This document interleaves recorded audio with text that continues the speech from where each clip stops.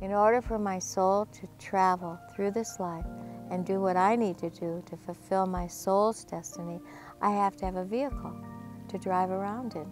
So that's why we do yoga. I want to be able to drive around. When I wake up in the morning, we take cold showers because that really wakes you up, right? And then I um, start on a 93 minute meditation. And from there, I do my yoga or maybe yoga before. It's not documented exactly what I have to do, but I always do it. Let's put it that way.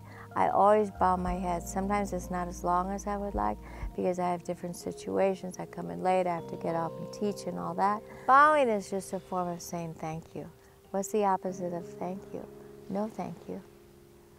Universe can't serve you. God can't serve you. You say no thank you. Angels can't come if you say no thank you. Nobody will give you any food if you say no thank you. Thank you is the key. It's the key to happiness. Thank you.